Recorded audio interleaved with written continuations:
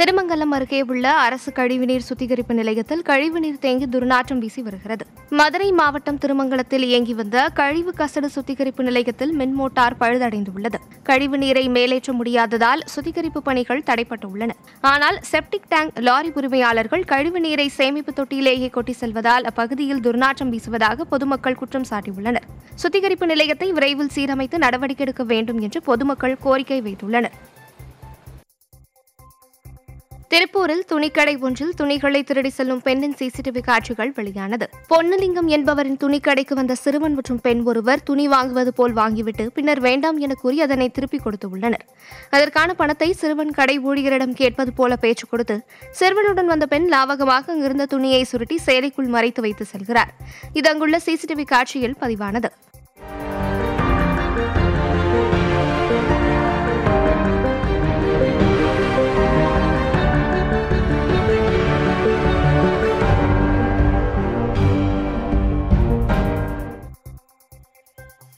திண்டுக்கல் மாவட்டம் ரெட்டியார்சத்திரம் அருகே கொரோனாவால் வாழ்வாதாரத்தை இழந்துள்ள மண்பாண்ட தொழிலாளர்கள் உரிய நிவாரணம் வழங்க வேண்டும் என்று அரசுக்கு கோரிக்கை விடுத்துள்ளனர். தர்மத்துப்பட்டி கிராமத்தில் மண்பாண்ட தொழிலாளர்கள் ஏராளமானோர் உள்ளனர்.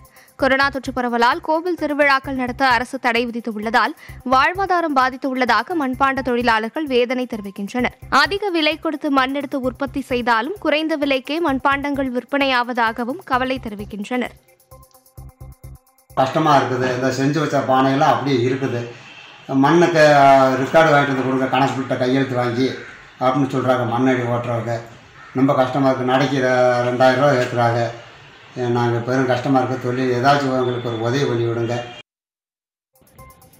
கன்னியாகுமரியில் கடைகளின் கட்டமைப்பை மாற்றி அமைத்து தர வேண்டும் என பேரூராட்சி நிர்வாகத்திற்கு உருட்டு வண்டி வியாபாரிகள் முன்னேற்ற சங்கத்தினர் கோரிக்கை விடுத்துள்ளனர். பேரூராட்சி நிர்வாகம் சார்பில் உருட்டு வண்டி வியாபாரிகளுக்கு இருநூறு கடைகள் கட்டிக் கொடுக்கப்பட்டுள்ளது. கொரோனா ஊரடங்கால் கடந்த ஒன்றரை ஆண்டுகளாக வாழ்வாதாரமின்றி தவித்து வரும் வியாபாரிகளுக்கு மேலும் பாதிப்பை ஏற்படுத்தும் வகையில் பேரூராட்சி நிர்வாகம் வாடகையை உயர்த்தியுள்ளது. இதனை கண்டித்து போராட்டத்தில் ஈடுபட்ட வியாபாரிகள் சுகாதாரமின்றி காணப்படும் கடைகளை சீரமைக்க வேண்டும் என்று கோரிக்கை விடுத்துள்ளனர்.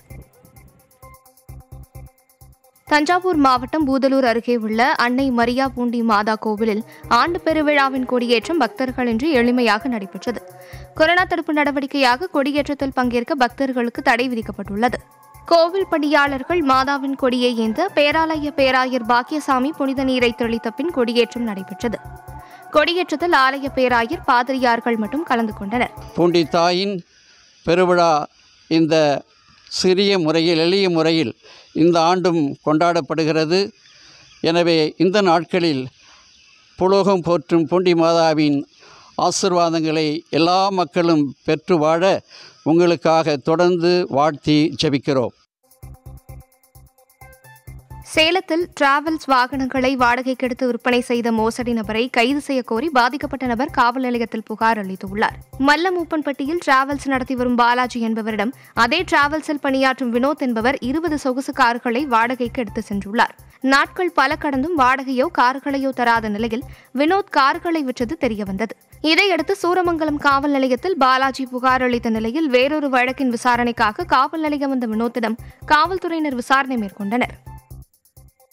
இப்போ இந்த கொரோனா டைமில் பார்த்தீங்கன்னா எங்களுக்கு சரியாக பிஸ்னஸில் டீசல் வேலை ஏறனால வீட்டுட்டு வண்டி நிற்கி நின்றுட்டு இருக்கிறத பார்த்து என்கிட்ட ஒரு ஆக்டிங் டிரைவராக ஒருத்தன் வினோத்துங்கிறவன் வரான்.